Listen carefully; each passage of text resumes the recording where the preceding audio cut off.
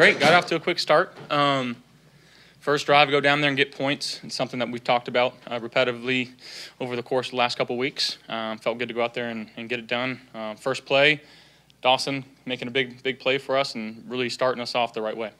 Would you, would you think that might have been start to finish, I mean, the penalties were not great, but start to finish, it might have been your best game of the year, I mean, overall. Yeah, it's up there, and I think you look at it from all three phases. I think everybody went out there, knew their job, and executed at a high level. Um, offense, defense, special teams.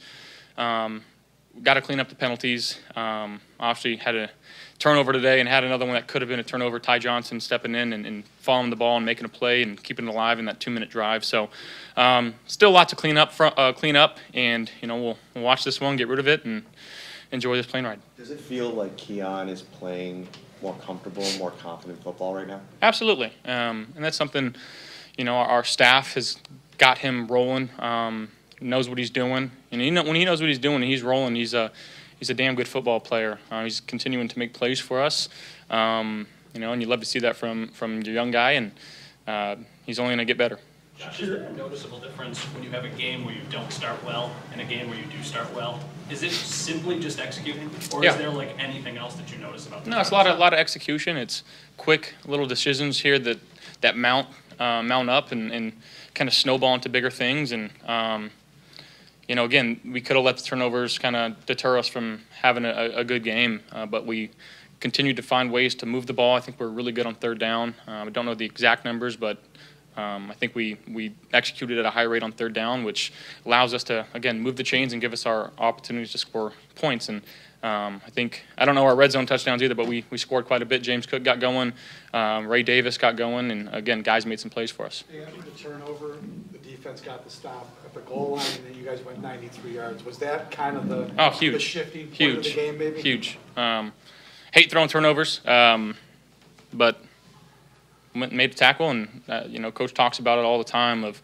you know, something like that. Not not to put your head down, go to the sideline, go make a tackle, and let your defense come back out on the field because you never was never know what's going to happen. They went out there and had four consecutive plays of a stop, and um, allowed us to again snowball that into something really good and score uh, for the two minute. And that was the mentality, right, to make up for it by taking control of the game? with Absolutely, guy? absolutely, yeah. Should you describe what happened on that play, uh, why he was able to pick it off?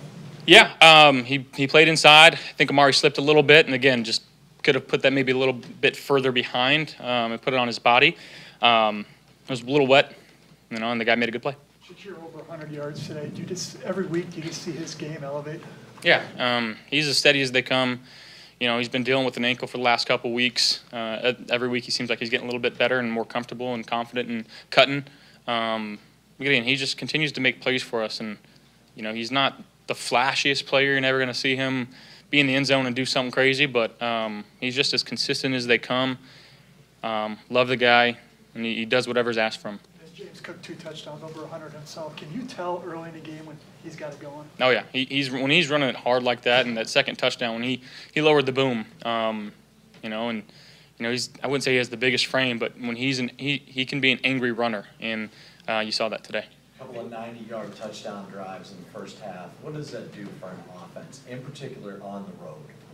Yeah, I mean I think uh, it takes the crowd out of it. Um, you know, you, you stay out of third and longs like we did, and be able to convert as well as we did. Um, it quiets them down quite a bit, which again helps with communication um, and helps with really just the whole vibe and momentum of the game. Crowds can be such a, a big part of it, and um, I do want to shout out Bills Mafia because that was a, a crazy scene walking off the field right now to the thousands of fans that were still here.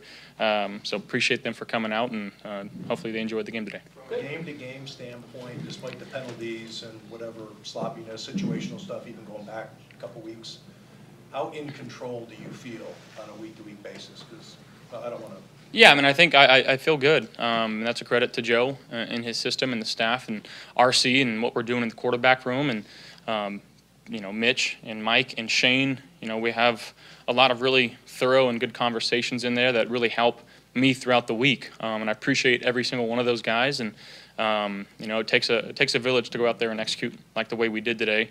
Um, but yeah, I mean, it's it takes everybody, and it was a, it was a good feeling. What about from a team standpoint? Last one for Josh. In terms of, you know, keeping, um, whether it be the long drives, coming back from a turnover, just the idea of, we got this. Yeah, I, I just think the confidence again that's instilled from the top down, um, especially in the offensive side of the ball, with Joe and our offensive staff putting guys in positions where they know what they're doing. They they do it fast. Um, you know, we we're not. I wouldn't say we're over too overcomplicated in what we're doing. Um, I know we have some motions and shifts, but again, um, it takes guys learning it and understanding it, but going out there and executing at a high level. Everybody knows their spots, and when you got that, you got a dangerous team.